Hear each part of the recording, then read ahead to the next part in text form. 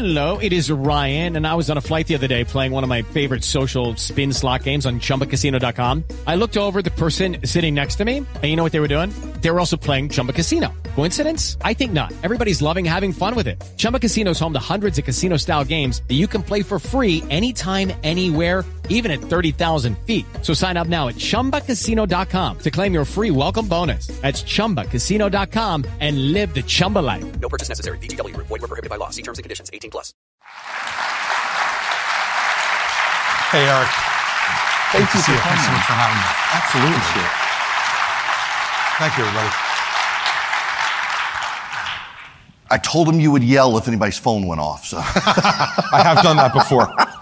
so I made thank sure you I for silenced coming. mine before I came out. Yeah, I, so I, I, I actually I had mine on this morning. My kid called me. Thank God, or I would be the guy whose phone went off. Thank you, first of all, for coming. and I want to start with a question I've asked everybody um, who's running for president. When you've got a former president, a former vice president, a former UN ambassador, current governors and senators, why should voters vote for Chris Christie for president? I think two reasons. First is that I'm tired of our country over the past decade or a little bit more doing small things. We're dividing ourselves up into smaller and smaller groups. We're pitting those small groups against each other. And then we're bringing up issues, not that are unimportant, Erick, but are small in context of how big and important our country is and has been. And I'm not interested in doing that there are too many huge problems for us to deal with of consequence that I want to take on and I'm willing to talk about now as president. You know, first is education.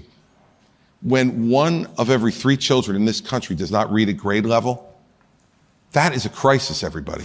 It's a crisis. And we have been absolutely dominated by the teachers' unions in this country. And if you didn't know it before, and I've been fighting this, as you know, since 2009 in my state. But if you didn't know it before, you saw it during COVID. Those unions put those kids and their families clearly second to their own parochial concerns. And that's added to that one in three number. We need to revolutionize what we're doing in education. And I'm going to give a speech on this after Labor Day, but we're going to go for educational freedom in the extreme. I want every family in this country to have an educational freedom account. We spend $800 billion a year in this country on K 12 education. And we're getting mediocre results as a, res- uh, uh, despite that money. I want every parent in this country to decide where their kids go to school. You have a great public school, send them to the great public school if that's what you want. If it's not, if it doesn't support the values you want or give the kind of education you want, find a good private school or a parochial school, a renaissance school, a charter school. But parents should be making these choices, Erick. And to me, that's one of the biggest issues that this country has to confront over the course of the next decade, or otherwise, we are going to have an uneducated populace, which is awful for our competition around the world, but also awful um, for our democracy. Because an uneducated populace can't be an active participant in our democracy and in governing ourselves. Um, second, um, we have a political problem that needs to be solved by someone serious, and that is our government spending. Our government spending is completely out of control. It was under, out of control under Obama. It was under, out of control under Trump. And it's even more out of control under Biden. Created this inflation that is damaging every family in this country and has been for the last year and a half. And I dealt with this when I was in New Jersey. When I became governor, I had an $11 billion deficit on a $29 billion budget. And every Democrat, I had a Democratic legislature, every Democrat thought we got him. He's going to have to raise taxes. It's the only way to solve this problem that we created for him, by the way, by all their crazy spending before I got there. And instead, we sat down and went line by line through the budget, literally, not just the rhetorical. Mm-hmm. And we eliminated 863 programs. And we balanced the budget without raising taxes and kept it in balance for the next eight years.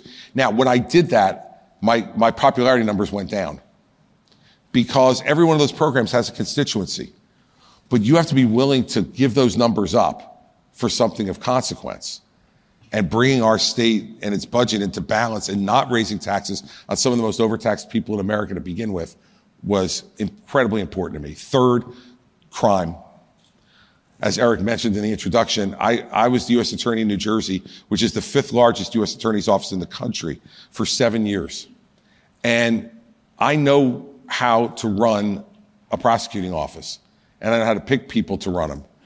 And when you have the violent crime we have in cities throughout this country right now, it is decaying those great cities. And a great country without great cities will not be a great country for long. When you think about the business, the entertainment, the culture, and the education that happens in big cities, if we let that go and people won't go to these cities anymore, um, it's unacceptable. And it's unacceptable morally to me that people are afraid to walk the streets, to go to the supermarket, to go and pick up their dry cleaning because they're scared.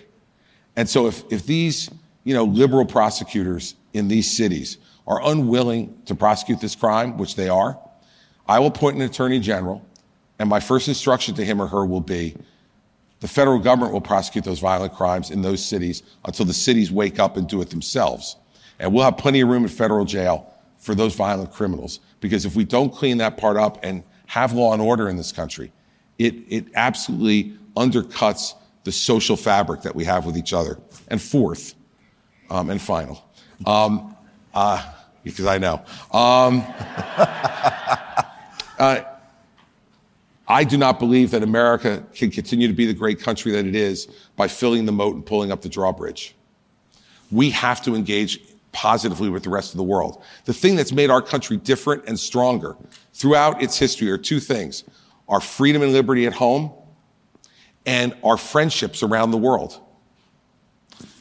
Countries like India, Vietnam, folks in Eastern Europe want to be friends with us because they know that we're not trying to impose anything upon them. We just want them to enjoy freedom and liberty the way we do and a great economy the way we do. But if we don't stand up for our friends, Erick, what's going to happen is they will be friends with China and Russia and North Korea and Iran because they need to be, they're smaller and they need to be friends with someone. I want them to be friends with us because that's what's always made us different. And I want to stand up for those things in the world that matter. Two weeks ago, yesterday, I was in Ukraine. And I will tell you for certain, everybody, this is not a territorial dispute. What they're doing, the Russian army, under the direction of Vladimir Putin, is barbaric. I went to the city of Bucha. I walked with the mayor through streets where he showed me the homes where the Russian soldiers went in, pulled the men from those homes while they were alive, gouged out their eyes, cut off their ears, then tied their hands behind their back and shot them in the back of the head in front of the rest of their family, and then went into those homes and raped all the women that were in those homes. Now, America will not permit that, nor should we permit that to be happening in the world to a friend who's a democratic country. Second on that is this. This is a proxy war against China, everybody. China is funding the Russian effort by buying their oil. China is coordinating the uh, obtaining of sophisticated weapons, not only from China, but from North Korea and Iran for the Russians. And I have to tell you something. We have folks in this race who have called Vladimir Putin brilliant, a great leader, and just yesterday, Donald Trump called him the, that he was the apple of Putin's eye. I have to tell you the truth. I don't want to be the apple of Vladimir Putin's eye. I don't. I'm telling you that right now. I don't want to be. And so Christie administration would stand up for our friends around the world and work with them. We would expect friendship in return. Um, but those are big things, consequential things. And I don't think you hear a lot of other people talking about those things in this race. And when I couldn't hear anybody talking about America, that's why I got in. Because we have to have those conversations as a country and we have to move on to someone who's actually done this and knows how to do it. And that matters too. And we've seen that with Barack Obama, someone who had no idea how to run the government. And we see it now with Joe Biden, who doesn't remember how to run the government. So I, I want to go back to your first point because uh, I remember when you became governor of New Jersey, and there was first the rah rah celebration. Republicans have won in New Jersey, and we're like, ah, yeah, but what sort of Republican? And you immediately started fights with the teachers unions in New Jersey because the schools were so far behind, and everybody, myself included, kind of perked up and like, oh, this this guy kind of gets it. Uh, you you the teachers unions hated you, yes, and, and, yet you were able to put points on the board in New Jersey. And we see this situation now with, with Randi Weingarten and others now trying to, to, to gaslight everyone and saying, well, it wasn't the teachers unions who wanted schools shut down during COVID. It was, it was the Trump administration. It was the Republicans who wanted to shut schools down. Complete baloney. And you know that. Look, we saw it. She was writing the plan inside the White House because they now have a teachers union member who goes to bed every night with the president of the United States. That's a pretty good lobbyist to have, everybody, let me tell you. And, and she, Jill Biden, is a teachers union member and was advocating those policies and gave Randi Weingarten an open door. Now, in New Jersey, as you just mentioned, we opened more charter schools in New Jersey during my eight years than any governor in the state's history, and those charter schools are still open. We established Renaissance schools, which were partnership schools with private sector. The private sector would come in and fund the building of those schools. And then, and they did it on a charitable basis because they cared so much about education. And in the city of Camden, where we had six of the 10 lowest performing schools in our state, in one small city, a mile square. What we did was took over the, took over the school system there, the governor did.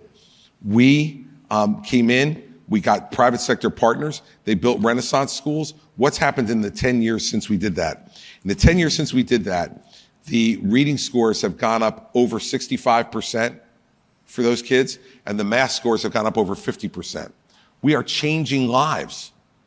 Those are kids who are now going to be able to be functional citizens in every way economically, politically, and as leaders of their families.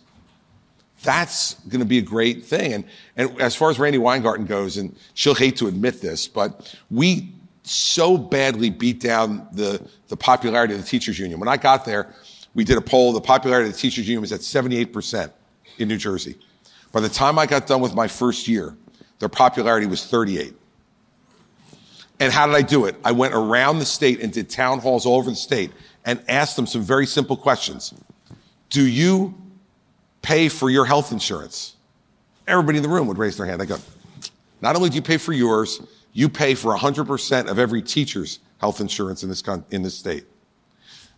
Do you have a pension that will pay you enough in the first two years of your retirement that you will have exhausted everything you contributed to it.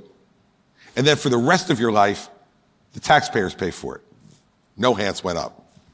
I said, You do that. I said, Now listen, I'm okay with providing health care and pension to people, but it's got to be fair. And they've got to contribute to it too. And they've got to do their jobs. And, and, I, and I just would not stand by and allow it to happen. So finally, in the city of Newark, which was also a terrible place for education, I got Randi Weingarten to voluntarily agree to merit pay for teachers. We're, we're still to this day paying teachers who perform better in Newark more than the other ones. That's another step towards getting teachers to be competitive and want to do better because we give them a financial incentive. We're, we're, we're a capitalist country, for God's sake. Everybody should be incentivized by being paid more for doing better. And those are the things we did. And, and that's why I think I'm best positioned to revolutionize this across the country and use federal dollars and the bully pulpit to urge states that don't want to do it to get in the game. Because otherwise, there's going to be a parental revolt in this country about kids who are being underserved by an education system that we pay a king's ransom for. You mentioned crime. I, I, I don't want to talk about that RICO case. I want to talk about another RICO case. I know you know RICO. Mm-hmm. We have a situation here in Atlanta, for those of you not from the state, uh, it's a police training facility. The Antifa members have come in and taken over the land. We know they're being funded just based on, on their own statements by outside nonprofits, one of which Stacey Abrams on the board. They have firebombed a youth facility in the city. They firebombed businesses. They firebombed a, a, um, a, a fire department. They have shot at police officers. They've booby trapped trees. It is stunning to me that in a day and age when the Biden administration says we need better trained police, the city of Atlanta is committed to building a police training facility. Antifa activists are shutting it down, and there is, to my knowledge, no federal investigation at all into the coordinated effort. Somebody's got to be paying the living expenses of these kids from New Jersey and New York and Washington State who've come down. Of the 50 people who've been arrested, two are from Georgia. Look, this is why we need an attorney general who will do three things with every matter that comes before him or her to prosecute matters without fear without favor and without partisanship. And I, folks in New Jersey will tell you, I spent seven years as the U.S. attorney right before I became governor. So I had a lot of opinions about prosecution and a lot of experience at it. When I became governor, I appointed an attorney general and I got out of her way. And what I said to her was, don't call me about any criminal case. I don't want to know. I used to hate when politicians, when I was U.S. attorney, used to comment on the investigations I was doing because I knew they didn't know what the hell they were talking about. and the best thing, by the way, about being U.S. attorney, the way I did it was, he's asking me this all the time. What's the best part of being U.S. attorney? I said, the best part is only I know what I know. and that's an advantage. And that's an advantage we have to bring back. These prosecutions should be confidential. They should be done without fear, favor, or partisanship. And something like this that's going on in Georgia, the U.S. attorney in Atlanta should be all over this. This is multi jurisdictional in terms of the people who are perpetrating these acts. This is what the federal prosecuting system was made to deal with. And absolutely, it seems to me, and I don't know every fact, but the way you're presenting it to me, RICO seems particularly appropriate in that circumstance, given that you obviously have an organization here that's uh, racketeering and is corrupt. And that's what RICO stands for, everybody. Um, and so we need to be more aggressive about this. And look, the best example I can give you about as an elected official how I'd be with law enforcement was we'll go back to the city of Camden. When I became governor, it was the most dangerous city in America, the highest murder rate in the country. And I went to the police unions and tried to negotiate more police on the street, less behind desks. Let's get out there and try to fight this. And the unions told me, go away. So I went to my chief counsel and said, we should fire all of them.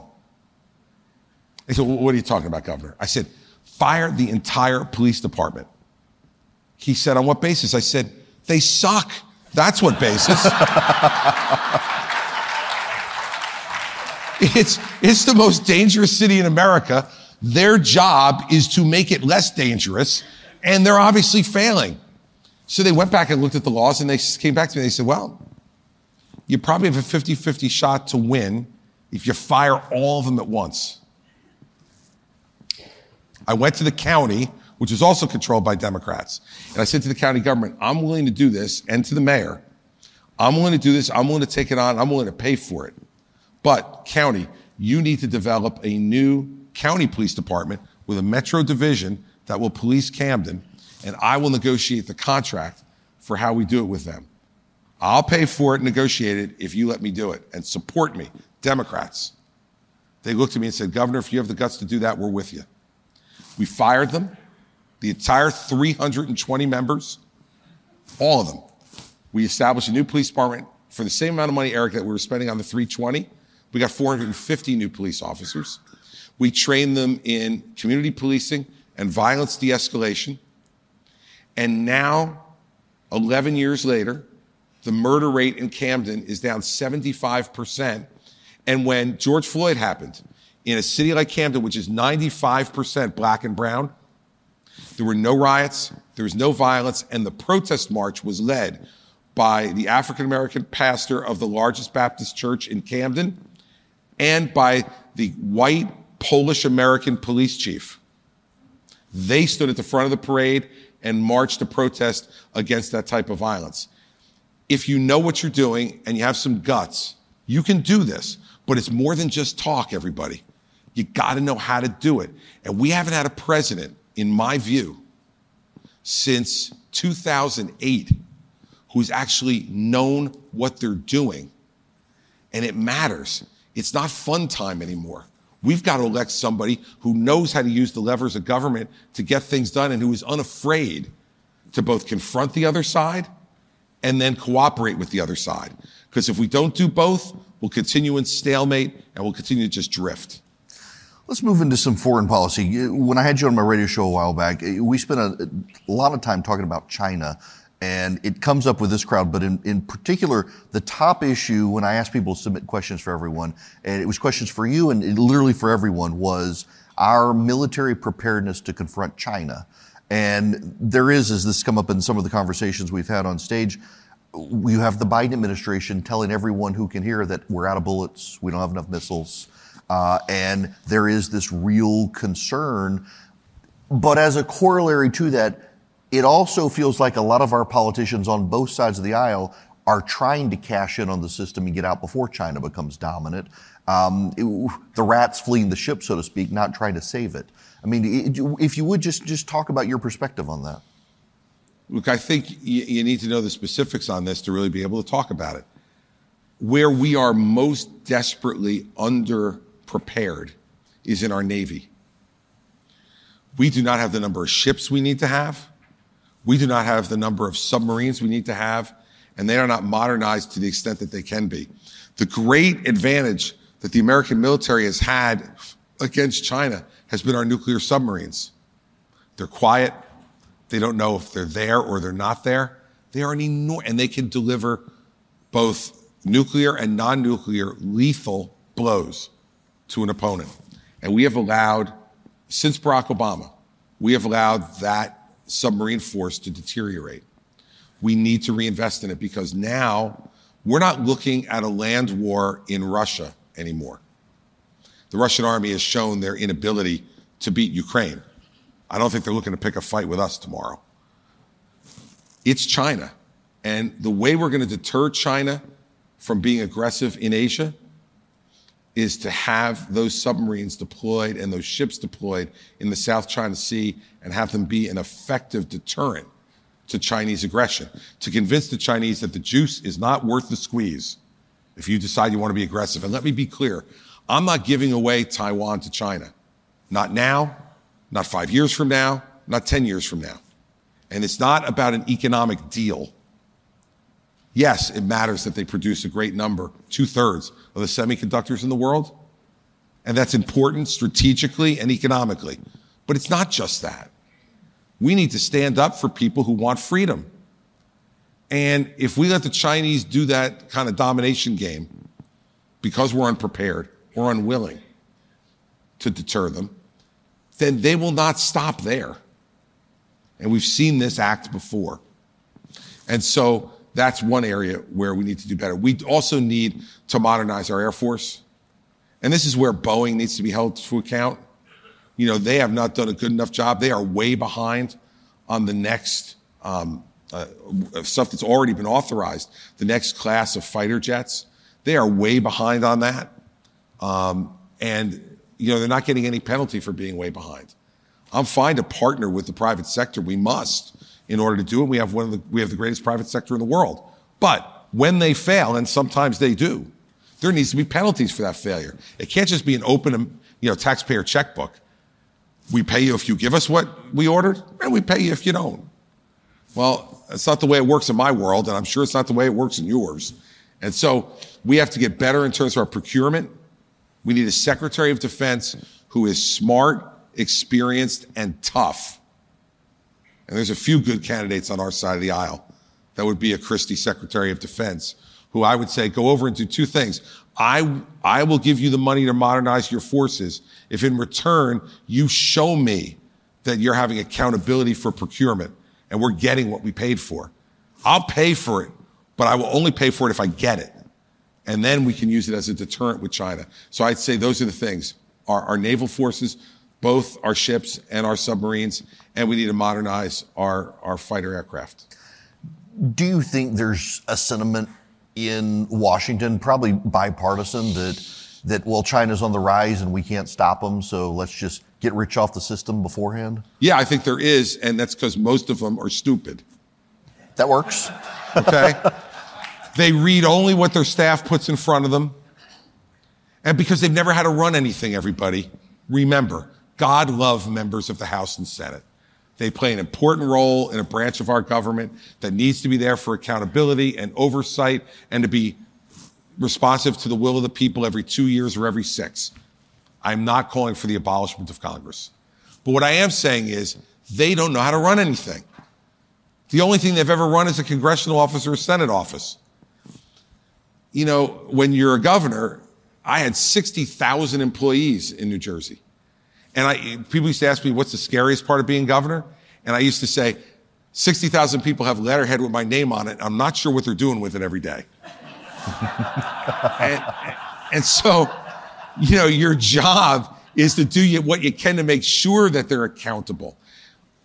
Here's what's going on. China is on the precipice of a 2008 style economic downturn. They have overborrowed, they've overspent, they've overdeveloped. And, and it's running out. I, I am promising you, everybody, if we have competent leadership in the White House, I would not trade one of the cards in my hand as the American president for one of the cards in the Chinese hand. They've overspent their economy.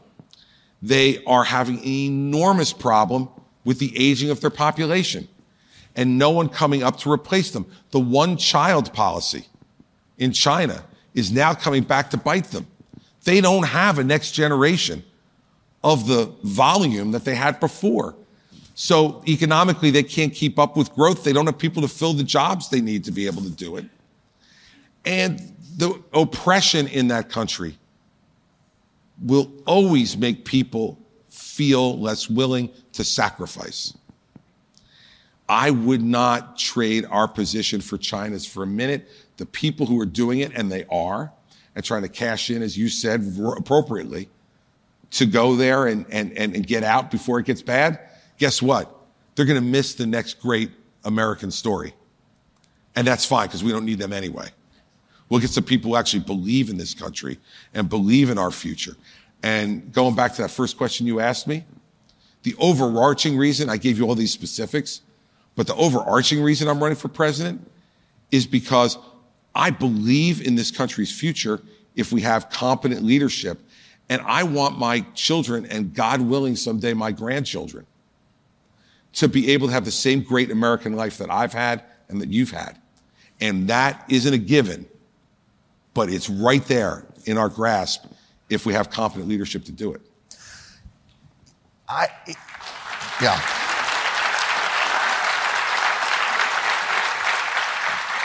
I, have had this sneaking suspicion that you know Ronald Reagan knew the situation of the Soviet Union was perfectly willing to bankrupt them, and it's like China has thought they could do that to us. And it seems like they were on the verge of success, except as you mentioned, and there have been very few people to point out these, these stories that have come out lately that the Chinese economists are no longer allowed to talk about the Chinese economy. Uh, their stocks are no longer allowed to be sold for financial businesses in the last week. Youth unemployment is no longer revealed in China as of last week. Uh, it seems like they tried to bankrupt, and they've come close but yet they've done it to themselves. But on our side, we do have $32 trillion in debt and it's about to exceed GDP. That's why I said what I said about spending. Now, look, when I was in the race in 2016, we had a candidate who said, I'll balance the budget in four years. Let me promise you right now, I'm not balancing the budget in four years. The hole is too big to be able to do it.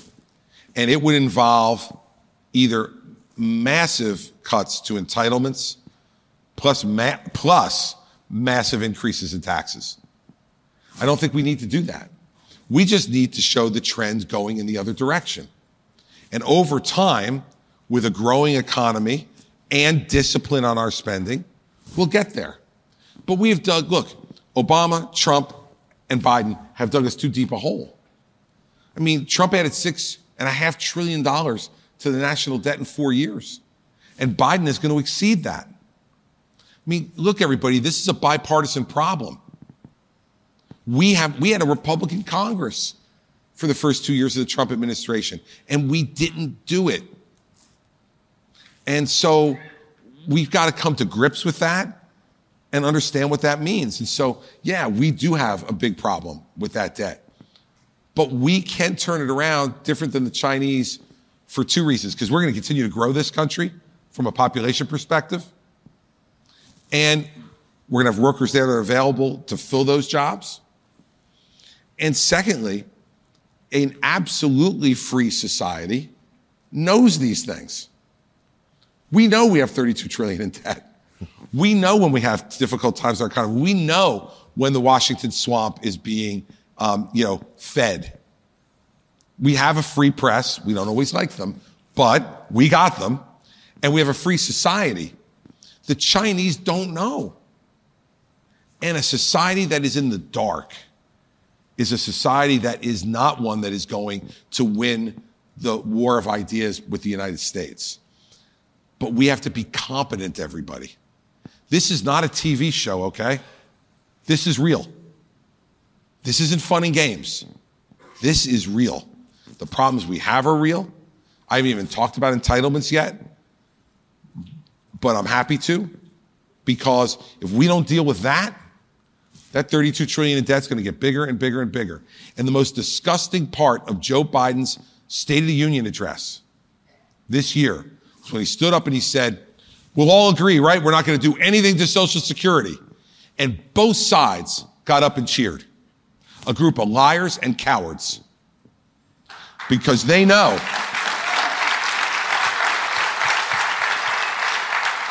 they know that in 10 years Medicare will be bankrupt and in 11 years, Social Security will be bankrupt. And what the law that Ronald Reagan passed 40 years ago requires is if that happens, it is an immediate 25% cut in benefits in Social Security and in Medicare. I think it's 26% in Medicare.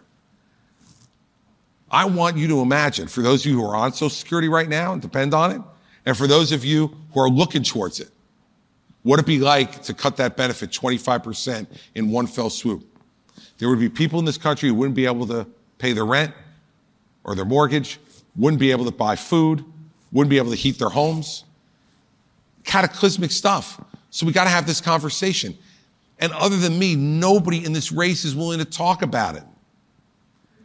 It's ridiculous. And so the difference between us and China is we will be able to talk about it. And in China, the next time that the citizen of China will know about this will be when the anvil drops on their head. And that's not the kind of society we want to have. And it's not the kind of society we want dominating the rest of the world. So I can be rather dense and I don't get subtlety, but I can take a hint. Let's talk about entitlements. this, this is why he has a top rated program, everybody. So on that issue, though, you know, I remember during the Bush administration, 2005, he gets reelected. He immediately says, we've got to begin to do something about entitlement reform in the country. It's going to bankrupt us. Republicans and Democrats both freak out. Uh, if we had implemented his plan in 2005, the rates of returns for Social Security recipients today who are retiring would be more than double what they are right now. And we didn't do it. Very much like the whole, well, we shouldn't drill in ANWR because it'll take 10 years to get the oil if only we had started 10 years ago. It's amazing how Congress works. What is your idea for reassuring current or near to be retirees while also looking to the future? Look, I think what President Bush proposed was brilliant, but turned out to be politically too ambitious. And the country heard partial privatization of Social Security and they freaked out. And not only did Democrats reflexively oppose it, but Republicans got scared by it. So let's put that off to the side for a moment. And let's talk about under the structure we have now. There are three levers to this, everybody. Eligibility, right? There is age and taxes. Those are the three things. There's nothing else. There's no kabuki magic to this. And so I don't think taxes should be on the table because I think that our taxes are already too high. And I don't think we've done nearly enough to try to be inventive on the other two to come back to the American people and say, take the cap off Social Security taxes, increase the rate. I'm not for those things. But let's say for, I have a son, my oldest, who is about to turn 30 in six days. I can't believe I'm going to have a 30 year old kid, but I'm going to. And if I say to him now, Andrew, we're raising the eligibility age for Social Security. And I say to his 40 year old coworker, for you and you, mid 40s and lower, we're raising the eligibility age for Social Security. If they can't plan over the next 30 to 35 years for that eventuality, they got bigger problems than raising the Social Security age. We can't do it to people in their 50s, 60s, or 70s. It's too late for them to appropriately plan. But we can make real savings over the long term by playing with the eligibility age, but for younger people. So they have time to plan to establish an IRA for themselves if they don't already have one, to put more money in their 401k plan if their employer provides it. But we give them time for that. And then I think we have to look at means testing. I mean, look, let's start here. I think we'd all agree with this. I'm sure he's collecting it, but Warren Buffett does not need Social Security. Right? He doesn't. Mark Zuckerberg, Elon Musk, Jamie Dimon, they don't need it. So maybe we could start there so no one is offended, okay? All the way up there. And then let's start having the discussion to work our way down. How much accumulated wealth can you have where the government is right to say to you, are you willing to sacrifice some or all of your Social Security to help the person who needs it the most? We ask people to do that all the time in taxes, right, Erick? I mean, look, I have, God willing, I never will be, nor have I ever been someone who needed to have food stamps. But I pay for them every year in my taxes. There are lots of things because people yell at me, I paid in. I want my damn money back. You pay for lots of stuff you don't get your money back for, right? You pay for food stamps. You pay for education that maybe your children don't access. You pay for a lot of stuff that the government provides because we say, as a society, on the social side, we want a social safety net for those who have gone on tough times. And we also want certain things available from an education perspective that maybe we or our children won't access, but we know is good for our country's future. So I think that argument is a little fallacious. And so I think we have to look at those things. And that's going to be an ugly conversation, everybody, but it's akin to what I was saying earlier when I eliminated those 863 programs. If you're president of the United States, you've got to be willing to sacrifice some of your popularity in return for doing something of consequence. And I can tell you this. I, you know, I used to say to my, my folks all the time, my, my popularity numbers in New Jersey, believe it or not, at one point got up as high as 75%. And they always get nervous. The staff would get nervous. Like, don't do anything. Things are really good. don't do anything. And I'm like, look, I'm not taking these popularity ratings and framing them and hanging them on my wall. I, I want to spend them. This is the time to do tough things.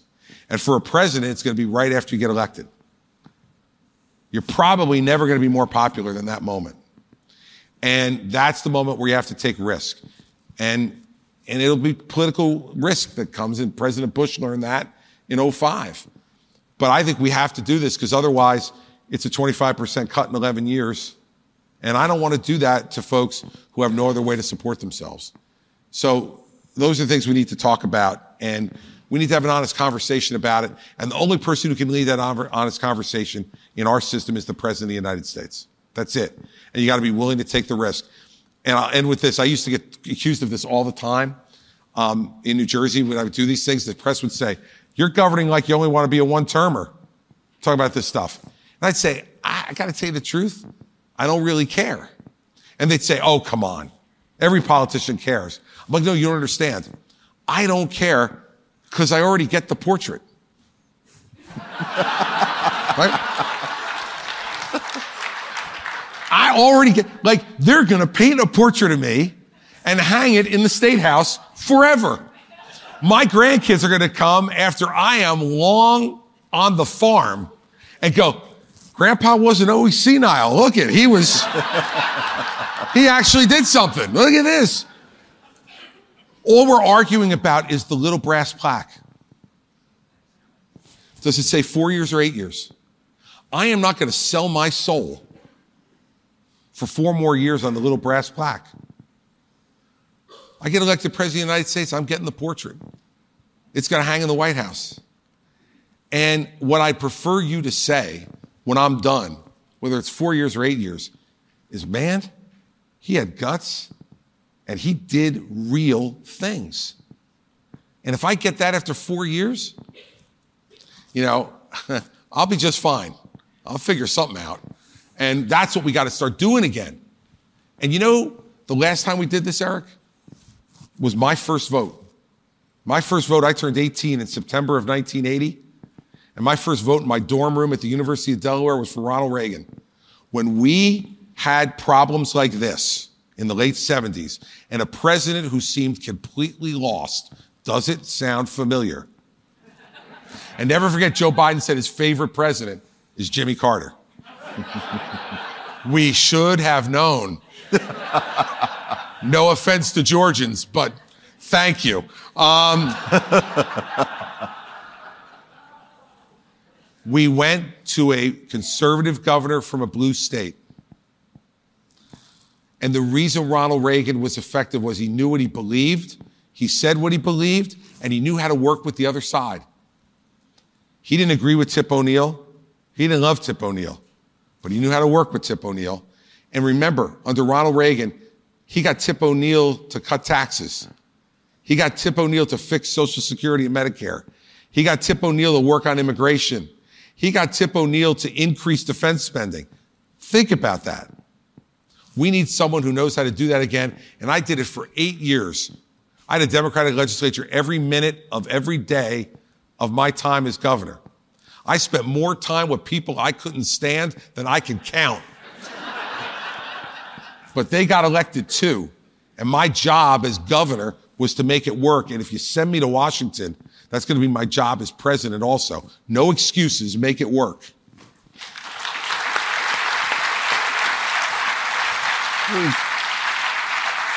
Looking at the clock in the back, so we, we got about three minutes. All right. Uh, thank you first for spending time. Let me ask you just one more question of, of just being on the campaign trail. Um, the way the media has eh, characterized you on the campaign trail, and it's one reason I specifically didn't want to ask any of you, particularly you, about the former president, is you, you only hear about Chris Christie on the campaign trail if he says something about the former president.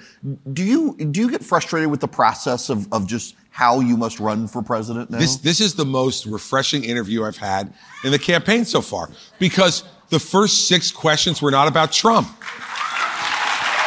Thank you. And, and then question seven is, why do you talk so much about Trump?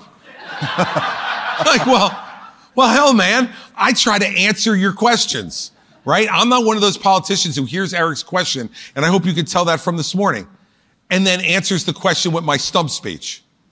I got one. I'm not giving it to you this morning. That's not what we're here for. I'm not frustrated by the process. Like, that's children complain about that. I answer what I'm asked. And if I'm asked about it, I'm happy to talk about it. Um, but if I'm not asked about it, I have plenty of ideas, as you could tell, about what I want our future to be. More ideas than most people you'll hear in this race.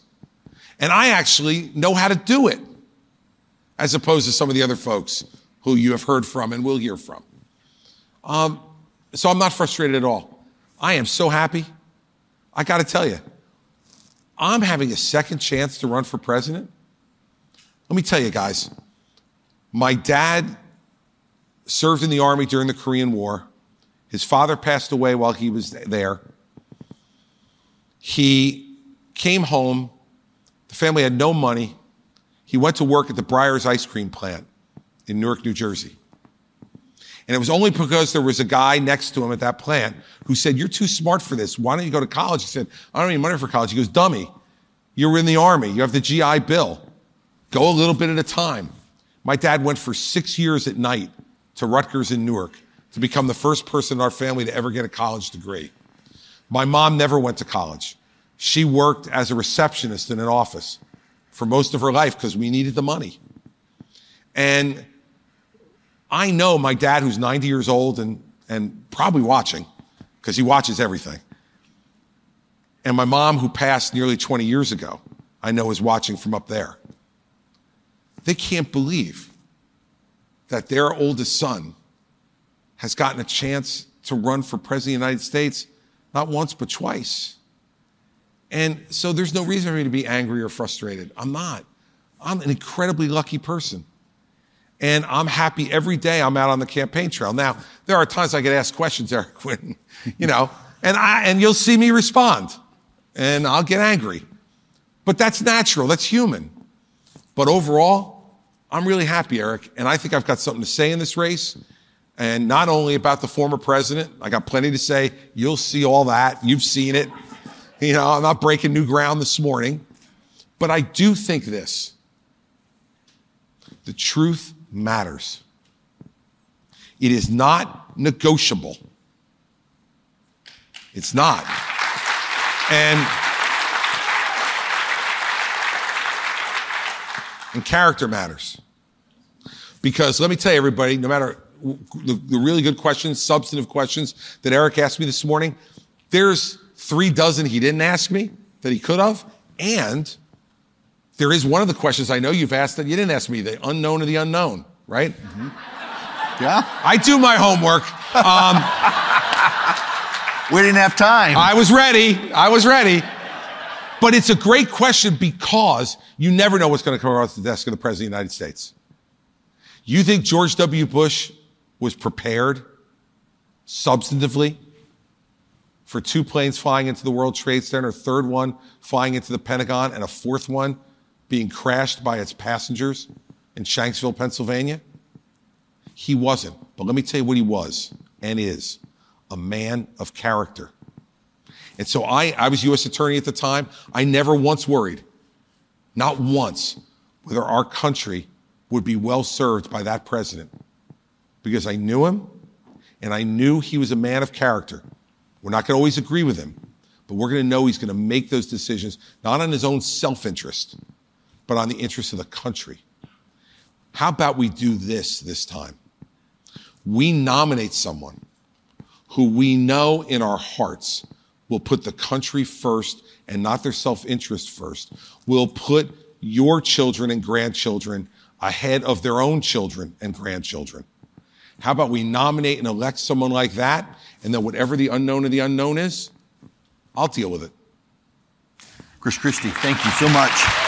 I have thoroughly enjoyed Thank you, this. Erick. This is really great. Thanks for giving me the time. Absolutely. Your questions are great. Thank you. Thank you. Thank you all very much.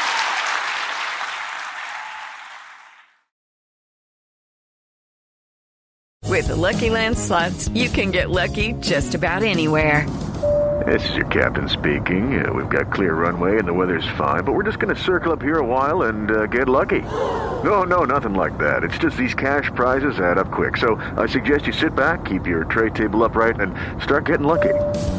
Play for free at LuckyLandSlots.com. Are you feeling lucky? No purchase necessary. Void where prohibited by law. 18 plus terms and conditions apply. See website for details.